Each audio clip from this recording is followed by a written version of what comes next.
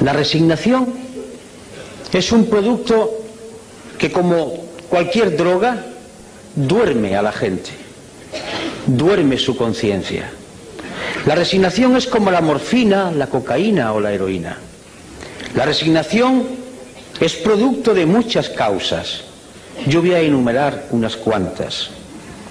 La resignación es hija de ese discurso totalizador, cual si fuese una nueva religión. No hay más verdad que la competitividad. No hay más santos ni más poderes que los mercados.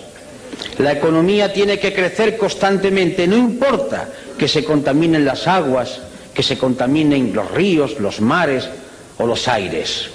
Competitividad, crecimiento sostenido y los mercados. Eso es lo único que importa. Su poder no puede ser contestado. Y además nos demuestra la existencia de las propias sociedades que esto es lo que produce bienestar. Y no importa que las personas de la calle vean que ese bienestar no le ha llegado al hijo o a la hija, que tiene que ir a la empresa de trabajo temporal que le cobra el 40% de la nómina por colocarlo en una empresa, no importa que la persona que todavía tiene una pensión que no llega al salario mínimo interprofesional y está casi a la mitad, 69 mil y pico de pesetas, la mitad de eso, a veces no llega. No importa el paro de aquel que entró en los 45 años.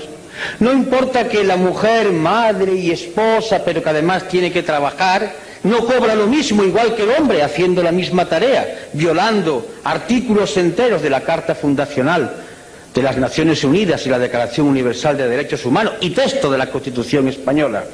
No importa, porque le están diciendo que no hay más bien que la competitividad, lo bien que vivimos, lo bien que vamos, los datos, las cifras. No importa que la gente vea o quiera ver en su entorno y a su alrededor hechos que están contradiciendo ese mensaje. Porque para que no se vea o porque para sea menos hiriente, hay sucedáneos. Ahí tenéis la televisión, fútbol, mucho fútbol, más fútbol que en épocas anteriores de la historia de España. Ahí tenéis concursos degradantes que no alimentan la razón, el estudio, el análisis. Ahí tenéis la vida de los personajes populares que se diseccionan y se abren para que atisbemos como si fuéramos aves carroñeras y olvidando el entorno que tenemos, entremos en lo que ocurre en sus alcobas. Ahí está toda una literatura de evasión para que la gente no vea. No vea y por tanto confunda su existencia real con la existencia que le ponen en las pantallas o en los informativos para que ocurra como aquello que tantas veces digo de la viejecita que a finales del siglo XIX estaba vendiendo cerillas a la puerta del Palacio de la Ópera de Madrid en un mes de enero a las dos de la madrugada aterida de frío y envuelta en una toquilla vendiendo cerillas para poder subsistir y cuando entraban hombres y mujeres envueltos en armiños, en capas con lujo y con joyas, decía qué bien vivimos en Madrid. Un caso de alienación, un caso de suplantación, un caso de drogadicción. La imagen, lo bien que vivimos, las historias de alcoba, las revistas del corazón, las frivolidades que hacen olvidar lo que ocurre diariamente o si se ve, se eleva a otra categoría, como si no fuese lo real. Resignación además, porque el discurso oficial, que baja desde muchos sitios, baja desde los poderes públicos, baja desde las sentencias de los tribunales, desde las cátedras, desde las clases de EGB, donde el maestro escuela va inyectando ya unas determinadas ideas, baja desde la televisión y de los medios de comunicación el discurso de que no hay otra salida, esto es lo único posible. Y si no, fijaros, estamos mal, pero peor estaban en el muro de Berlín. Y cuando ya se acude a hablar del muro de Berlín es porque no se tienen razones y hay que decir, mira qué mal fueron aquellos, porque es la única justificación.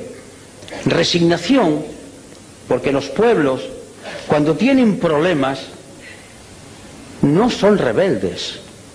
El que tiene que comer todos los días no puede permitirse el lujo de perder por un acto de rebeldía el puesto de trabajo. La rebeldía siempre ha surgido de aquellos que comían todos los días. De aquí la gran culpabilidad de muchos intelectuales españoles que comiendo todos los días bien del pesebre o bien de su trabajo, no han sido capaces de decir basta a esta situación de degradación. De ahí una resignación, una resignación que nace de la evidencia diaria, del paro que es cierto, de ese paro que dicen que se reduce porque la estadística dice que cuando una persona trabaja dos horas a la semana ya no está parado. Una disminución estadística de los empleos a tiempo parcial, de las horas extraordinarias que se imponen pero que no se cobran, de la angustia si mañana poder trabajar. Eso es resignación. Resignación que cae sobre un pueblo que se da cuenta además, o no se da cuenta porque no le gusta o no quiere verlo o no dejan verlo, que estamos yendo hacia atrás, que estamos llegando a cotas propias del siglo XIX, que aquella seguridad social para todos, que el tema del subsidio de desempleo va bajando continuamente en contra de la Declaración Universal de los Derechos Humanos o de la propia Constitución. Resignación que surge de la culpabilidad del propio parado. Uno de los éxitos, entre comillas, del sistema americano es conseguir que el pobre el miserable se sienta culpable de su situación. Es la filosofía calvinista, hija del protestantismo. Tú eres culpable de tu situación. No has sido capaz de triunfar. Esa es la filosofía de la sociedad americana. Y si no has triunfado es porque tú eres el responsable. Esta sociedad da oportunidades a todo el mundo. Si tú no has podido hacerlo así, tú eres el culpable. Y entonces el oprimido, el pobrecito, el esclavo se echa en la responsabilidad de su situación. Es perfecto el dominio del poder. Un dominio del poder que ya no se basa en la fuerza, en la coacción, en la utilización de la Guardia Civil o del Ejército. Se basa en un dominio mucho más terrible, más duro, el dominio de la mente ese opio que cae desde los aparatos de televisor, ese opio que cae desde la sentencia de los tribunales, desde los discursos políticos que va empapando la mentalidad de la gente y va diciendo calla, calla, calla, porque si no callas puede ser peor.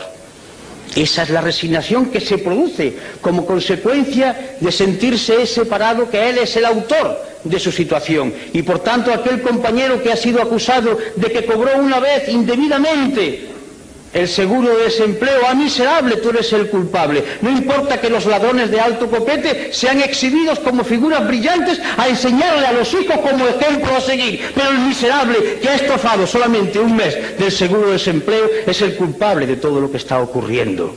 Eso es resignación. Resignación que surge de los medios de comunicación, y no se me enfaden las cámaras, no va con vosotros, pero va con los que tienen el poder en vuestras empresas, va contra aquellos que optan por decirle al pueblo una parte de la verdad.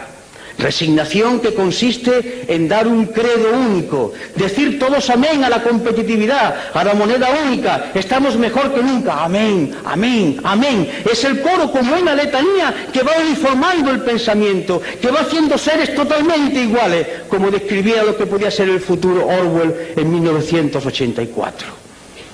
Esa resignación, por tanto, es hija de una economía de un sistema político que confunde muchas cosas. Una información que está haciendo surgir en nuestros universitarios, en nuestros institutos, en nuestras academias, en las escuelas básicas la cultura del sí o no, propia del ordenador. La vida está llena de colores, de tonos, y por tanto el lenguaje es mucho más vivo cuanto hay más cosas que hay que ser descritas. Sí o no, blanco o negro, derechas o izquierda, Conteste usted como el ordenador. Afirmativo, negativo, afirmativo, negativo. Se busca ya no al ser humano pensante capaz de la reflexión, de la duda, de la inquietud. Se busca al esclavo sin pensamiento. Y por eso no se quiere la historia. Y por eso se desdeña la memoria.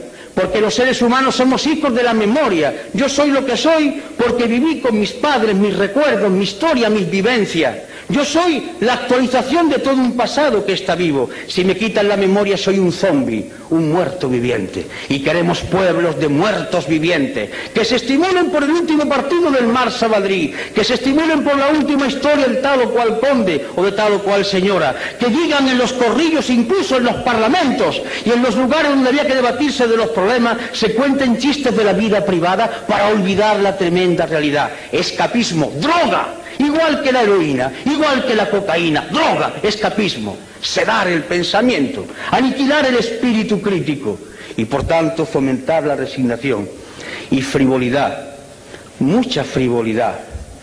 Y por tanto la política entendida como compraventa de votos, no importa, ¿qué es lo que quiere el pueblo? al pueblo al cual convenientemente se le va a decir lo que quiere a través de determinados medios. Más fútbol, pues más fútbol. Pero es que yo pienso que no, es que tú tienes que decir lo que le gusta al pueblo al cual yo, mediante medios de comunicación finísimos, le voy diciendo qué es lo que le conviene. Pero yo represento un proyecto, yo quiero explicar un proyecto, yo quiero dirigir a mi pueblo del cual formo parte para decirle el punto de vista de nuestra organización. No, no, no, lo que conviene es que ganes votos. Eso no está bien dicho. Tienes que ser respetable, tienes que hablar y decirlo políticamente correcto, el buen tono, como el chico de, de la burguesía del siglo XIX. Niño, eso no se hace, eso no se dice, tú lo haces por bajo cuerda porque todo debe permanecer como si aquí no ocurriera nada. Es decir, la cultura de la hipocresía. Crear una sociedad hipócrita que miente a sabienda, que sabe que está diciendo algo que nadie cree, pero lo importante no es decirlo, lo importante es que hay que hacerlo, pero que no se diga. Y ese cáncer va avanzando, degradando, corrompiendo y aniquilando las fuerzas para combatir. Y ese es un camino, sin duda dulce, es la muerte lenta, como se consume un brasero, como van muriendo aquellos que beben la cicuta, muerte que le dieron al gran Sócrates. Es, va durmiendo paulatinamente todo el organismo y se muere uno con la sonrisa en los labios, pero muere. Y el otro camino es lo que ha dicho Manolo, rebeldía. Pero la rebeldía no es un gesto altisonante, no es un grito, no es un insulto, no es una pedrada, no es una mala contestación, es mucho más profundo. La rebeldía es un grito de la inteligencia y de la voluntad que dice, y lo voy a decir en Román Paladino, no me da la gana de decirle que sí a esta actual situación. ¿Por qué? Porque no quiero y me niego a decirle que sí, porque entiendo que puede haber otra situación y por tanto yo no asumo esta podedumbre y no participo de ella y lucho contra ella. Y esta actitud es una actitud intelectual. Y cuando digo intelectual no quiero hablar de universitario, de la mente de cualquier ser humano. Es un posicionamiento que nace de la mente y del corazón, del fuego, del querer cambiar. Esta es la rebeldía fundamental. Lo otro son voces, son chillidos, son insultos, son grannidos. Dale caña, circo romano. No, no. La rebeldía no es ni más ni menos que el posicionamiento con otros valores y la decisión de hacerle frente. Rebeldía para decir que no aceptamos que la competitividad y el mercado sean los que rijan los destinos de las sociedades, que entendemos que hay una Declaración Universal de Derechos Humanos que tiene que cumplirse, y que eso significa sociedad de pleno empleo, donde el, hombre y la mujer sean exactamente iguales, donde no haya marginados y que costará mucho tiempo y mucho sacrificio, pero es hermoso luchar, incluso morir por eso, porque morir tenemos que morir, muramos por lo menos luchando por un ideal noble y no consumiéndonos como un brasero. Y significa esa rebeldía fundacional en cuanto a entidad humana significa defender con esa suave ironía, con esa tranquilidad que el maestro Saramago hace, porque es una gloria verlo contestar a los periodistas con esa suave ironía, con esa tremenda dureza de fondo, pero flexibilidad en el lenguaje. Significa defender que hay valores que deben ser mantenidos, el hermoso valor de la igualdad. Como decía uno, la sangre es roja y todo la tenemos roja, no hay sangre azul. Y además, como decía otro, todos los corazones, salvo alguna excepción, están en la izquierda. Por tanto, esa igualdad, igualdad que hace que los seres humanos nazcan de la misma manera. Una igualdad esencial, no igualitarismo. y por tanto dignidad de la persona por ser lo que es, persona. Y junto a la igualdad, la libertad. Pero hablar de libertad es algo muy grande. Porque libertad es asumir que se tiene la conciencia libre, que no es lo mismo que libertad de conciencia. La conciencia libre significa que yo puedo decidir si yo tengo todos los elementos para formular mi decisión. Estoy bien informado, estoy bien formado, me alimento todos los días, tengo un techo donde guarecerme, tengo una ropa que ponerme y una vez que tengo mis necesidades más elementales satisfechas, yo puedo empezar a pensar para ser un hombre libre. Porque si yo tengo que buscar el trabajo trampeando como sea, poniéndome en la cola del paro, vendiéndome por cuatro perras porque tengo que comer los míos y yo, yo no soy hombre libre, aunque mañana me permitan que vaya a votar en las urnas. Yo voy movido por mi hambre, por mi necesidad de tener que venderme en cada momento para el trabajo. Y junto a la libertad, en sentido espléndido de la palabra, la justicia. Y no hablo de tribunales de justicia, hablo de eso tan sencillo de dar a cada uno lo suyo, que impere el derecho, que no haya distinciones, que todo el mundo sea medido por igual rasero, por el rasero de la ley. La justicia que consiste además en que se conforma una sociedad. La ley es la que puede hacer posible que conviva la gente en sociedad, mientras que la ley sea justa y se aplique con justicia a todos igual. Solidaridad, es un mensaje que nos puede hermanar a todos, a todos aquellos que hablaban del internacionalismo proletario, que sigue estando vigente. Aquellos que hablan de la hermandad de los seres humanos y porque hacen referencia a sus creencias basadas en la teología de liberación. A otros que hablan desde otros supuestos de liberación humana, a otras propuestas de liberación. De acuerdo, solidaridad, que consiste en afirmar tranquila y serenamente que no merece la pena luchar por banderas, que la única bandera es la moneda del planeta Tierra y la humanidad es una sola raza, una sola y única raza y que merece la pena luchar por ella y esto es muy importante, informado, no porque se le den muchas noticias, hay diferencia entre la noticia la información. La noticia es una mercancía que se da para que se consuma, la información es un dato que se da para que la gente piense y a partir de ahí extraiga sus consecuencias. Y desde la izquierda, hablar de austeridad. A mí particularmente me gusta esta palabra. La austeridad, hablar de austeridad fue la palabra que vertebró un discurso de Enrico Berlinguer aquel secretario general del Partido Comunista Italiano que murió en la tribuna, hablando precisamente de austeridad. La austeridad en el sentido romano, mediterráneo. Austeridad no es miseria. Austeridad significa vivir dignamente, normalmente, no malgastar los recursos naturales, poseer uno cosas, sino que las cosas lo posean a uno, no ir constantemente atentando con la naturaleza en un consumismo feroz.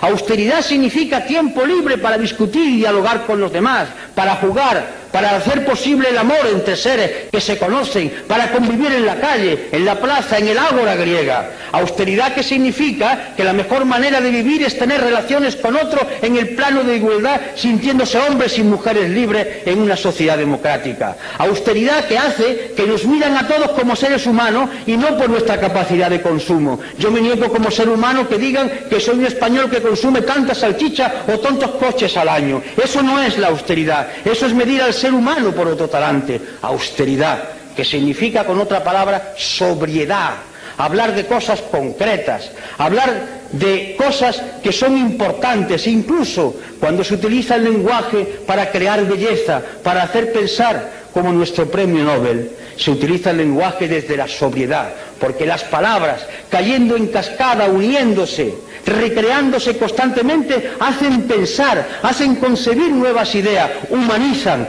Esa es la austeridad y esa es la sobriedad. Y a partir de ahí es cuando comienza el discurso y la propuesta, la sociedad de pleno empleo, el desarrollo sostenible, el reparto del trabajo, es decir, el discurso rojo, verde, violeta, el discurso de la paz, paz, y la paz no es la ausencia de guerra. La paz, por ejemplo, es que el día 9 estemos llenando rota, porque quieren transformar la base militar en una superbase, violando el punto tercero de lo que acordó el pueblo español en el referéndum en 1986. La paz significa que mañana 1.200 hombres y aviones españoles que cuestan un dinero no puedan entrar en la antigua Yugoslavia, porque no han sido consultados las Cortes Generales y porque se ha violado nuevamente el artículo 62 de la Constitución. Significa, por tanto, hablar de paz, paz como justicia, como entendimiento entre seres iguales que son capaces de razonar. Y bien, los mecanismos son los de siempre. La movilización. ¿Qué es movilizar? Desde la izquierda, siempre movilizar no ha sido solo llenar las calles de gente, que también. Movilizar ha sido concienciar. Nosotros existimos, los que queremos pensar por nuestra cuenta, para perturbar a los demás.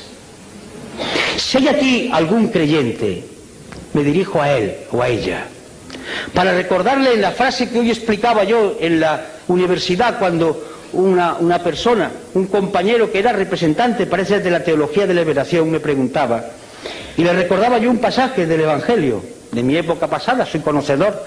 Decía, mirad, una de las cosas que figura en el Evangelio cuando le preguntan a Jesús de Galilea, ¿tú qué has venido aquí a traer la paz? Dice, yo no, he venido a traer la guerra. ¿Y qué quería decir? He venido a concienciar, a perturbar. Nosotros no queremos gente tranquila, drogada. Queremos gente que inquieta. Venimos a perturbar, a agitar cerebro, a mover conciencia. Existimos en la medida que movilicemos el pensamiento. Como decía en aquella iglesia que en el barrio Naranjo de Córdoba, levántate y piensa en lo más revolucionario que he visto en mi vida, porque la rebeldía empieza aquí, en la cabeza que dice, no sirvo, no me da la gana, no quiero asumir estos valores. Movilización que significa, por tanto, ese esfuerzo por pensar y por hacer pensar. Los grandes revolucionarios de la historia, la característica fundamental fue que hicieron pensar la revolución la hicieron las gentes, las masas, los colectivos, pero el valor de ellos es el pensamiento que pusieron en marcha, es el concepto de la movilización en torno a lo concreto y con las alianzas de todo el pueblo. Por eso hacemos llamamientos, queremos unidad, pero no para repartirse sillones, para hacer programas de transformación. ¿Qué hacemos en el pueblo? ¿Qué hacemos en la comunidad autónoma? ¿Qué hacemos en España? ¿Qué hacemos en Europa? Alianzas. Alianzas entre gentes que coinciden básicamente, parece ser, por lo menos teóricamente, en que quiere cambiar el mundo. Pongámonos de acuerdo que podemos cambiar ahora, pero cambiar un sillón por otro, eso ya no es correcto, eso lo hacen los otros, desde tiempo inmemorial. Y por último, la cultura. La palabra cultura viene de cultivo, cultivarse, hacerse ser humano cada día más. La cultura no es saber muchas cosas. La cultura es captar todo aquello que la humanidad ha ido produciendo y que nos mueve desde el arte al estremecimiento por degustar la belleza, a entender cómo la humanidad ha ido superando determinados problemas. Un hombre culto no es un hombre que esté rodeado de libros, que también puede ser. Un hombre culto es un hombre que mira al mundo con mirada independiente y libre. Un hombre culto puede ser un campesino de nuestras tierras. Cuando revina palabras que utilizan en mi tierra, está pensando, pero sabe calcular las cosas, piensa como quiere. Es un hombre que tiene un tipo de cultura. Y ese hombre que a lo mejor no sabe leer, le puede dar la mano a otro culto de la universidad, que sabe más cosas, pero está en la onda de la cultura, porque ambos confluyen desde su sentido de hombres libres con capacidad para pensar. Y en fin, en el acto de hoy, donde ahora va a tomar la palabra el maestro Saramago, y dicho con todo cariño, en el sentido de ejercicio de sencillez y de hondura, la voz de Izquierda Unida esta noche no ha hablado de programas, ni Manolo ni yo. Hemos hablado, y os lo confieso, de lo que nos mueve a nosotros, a él, a mí, a José y a los demás compañeros y compañeras. No sé lo que ocurrirá en los próximos meses o en los próximos años, pero la decisión de mantener este discurso es firme por nuestra parte. La vamos a seguir manteniendo, no lo pensamos cambiar.